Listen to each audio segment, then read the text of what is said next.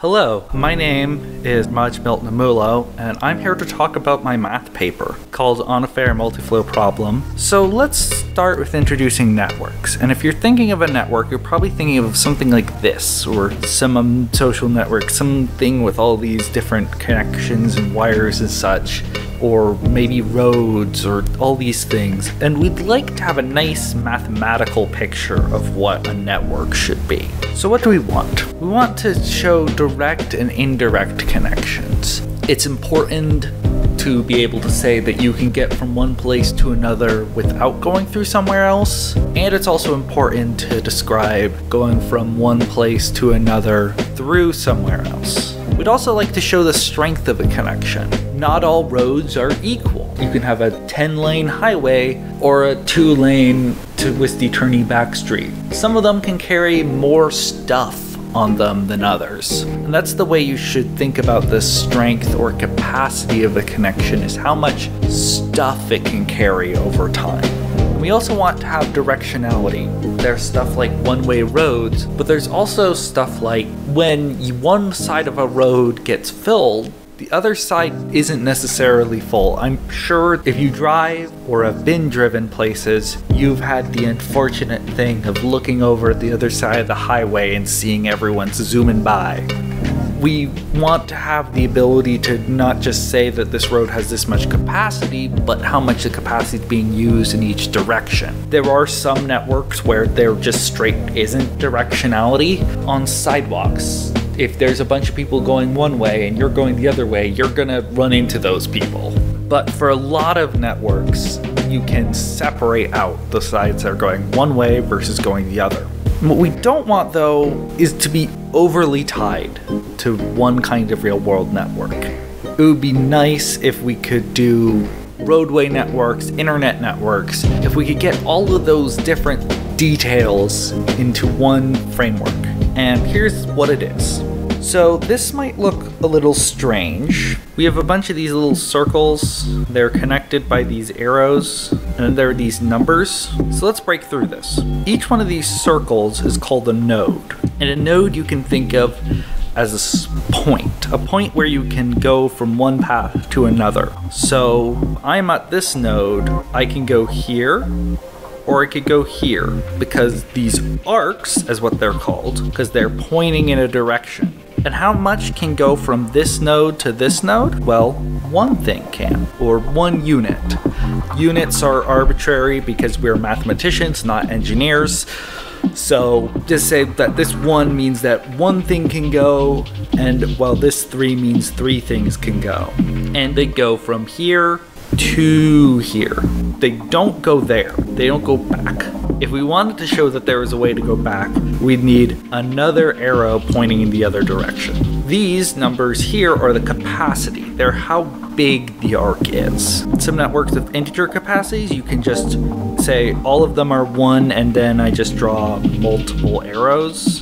But it's usually a lot easier to see with just a number next to them. And you can see that I can get from here to here, but I have to go through multiple arcs. So I have to go like, mm, mm, mm, or mm, mm, mm, or any number of other paths. You should be thinking about this sort of thing as networks as ways you can travel. Now I am omitting some details, like for instance, the way I actually drew this network isn't important. What's important is the connections and how strong the connections are. But now we get to the idea of flows, and flows are things on a network. Think of flow as sort of an amorphous moving state. Oh and, and the like. But really, you should think about flows more in terms of this the movement of people or items or data across any sort of network that makes sense to them. Things go from here to here through a flow. And there are multiple kinds of flows you could have. Linear flows. You could have things where it's just one node to another, to another, to another. Or you can have ones that branch out and recombine. Often useful to not really think about them as distinct items, but like trends. That's also why they use flows because of stuff like water flows. And you can also have flows that look a little different, like the flows of boxes in this stock photo warehouse. They move, and in general, you can split them up arbitrarily. So now let's go ahead, move on from just talking about flows in the abstract, and start looking at them. So here's our network from before, and we consider this one our starting point and this one our ending point. So here's a flow. We use green for the source, also called the start. There's some other terminology, but source is the most commonly used one. And then it flows to the blue, the sink, the terminus, the end. I don't tend to use the word terminus, but it's here because T is different from S. I'll often label this S of something and this T of something. And we, we have as the load of the flow or the content. So in this situation, one unit of flow is moving across this arc and it joins with this unit of flow. So we've got one, one, and then we have two that go across there. Note that despite this one having one, this blue number in a box, which is how I'm going to show flows, shows that nothing's flowing across that one. And as we see, two comes in here. It could support three, but only two come in. And you can think about this as sort of a bunch of paths. So you could say this path carries one, and then there's this path which carries one, and then there's this path which carries one. But they all add together in this way. So there's a few conditions we have. One of the first ones we should think about is what I call the capacity constraint. And why would we want this kind of constraint? Well, imagine if I wrote a 5 here and then I added, so this was a 6 and this was a 6. That's according to another rule we'll get to in a bit. If I gave this to someone, they'd be like, uh, there's a problem. This can't support 5. This can only support 1. It's like, it would be like overloading a bridge. Too many heavy trucks. The bridge is gonna collapse. So we obviously don't want to do anything that's nonsense like that. But what was the other one? Why did I increase these ones as well?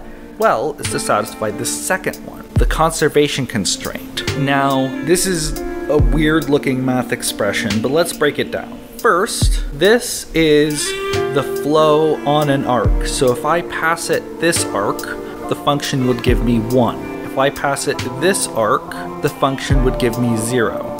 This one, 2, and so on. We can think of the this flow function or the flow's load function. We'll get to why I'm using load later. But we could think about this as being a way of asking hey, how much flows on this? We're often used to learning about functions when they have explicit forms, like let's say g of x equals x squared minus 3. As you can see, this is why I don't handwrite everything. But really all you need for a function is to have it be well defined. If I give you something, what do you get out? So this can be sort of like a lookup table. So if I say uh, f of friend fave number. So if I give you a friend, you put them in this function and they get out your favorite number. I'm using friend because that's presumably you know the favorite numbers of your friends, and if you don't, you should maybe ask. But this is a well-defined function for you. I might have a different version of this function because I know different people than you. This is a completely reasonable function. So we can consider that this little f of a is a reasonable function. We give it an arc, it tells us how much flows across it. Now, what about these? Well, a minus of n is all the arcs that go into it. So if I say this is my node, this is this is n, then these ones are in A minus, and then these ones are in the A plus. So what it's saying is look at all of the arcs in A minus of this node and all of the arcs in A plus of this node and make sure they're the same. And as you can see, we get one from here, one from here, and then we give away two from here, give away zero from here. And this is true for all the nodes in this. So I could do this as n, this as n, this as n. All of those work except for two. The source and the sink. And we should think about why that makes sense. Well, it makes sense because if this was true for the source, nothing could leave it. And if that was true for the sink, nothing could enter it. I didn't write that here, but that's something you should keep in mind. We always exclude those from the rule. And we can say, and to simplify, that the first side's the incoming flow and the other one's the outgoing flow not all flows are the same, and we can talk about the idea of uh, the value of flow and how much stuff it carries. We can also consider it as how much stuff it carries over time, but that will become more important later. So amount goes in one end or out the other. Notice that flows are assumed to have no leaks. There's no flow that enters the source that doesn't leave the sink. So these two are the same. And let's go to the whiteboard. Let's begin with the very, the most basic